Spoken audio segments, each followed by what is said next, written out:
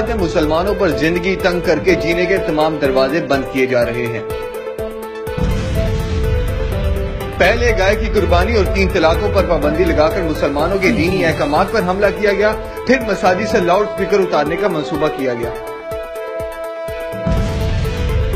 बाबरी मस्जिद के साथ साथ हैदराबाद में दो लाख, जबकि गुजरात में दो हज़ार मुसलमान शहीद करने के अलावा सैकड़ों मुसलमान औरतों की इसमत दरी की गई।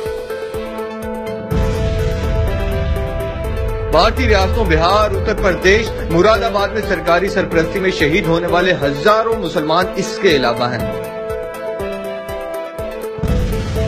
भारतीय फिजाइया में मुसलमानों के दाढ़ी रखने पर भी पाबंदी है। वक्त आ गया है कि भारत का घिनौना चेहरा दुनिया को दिखाया जाए।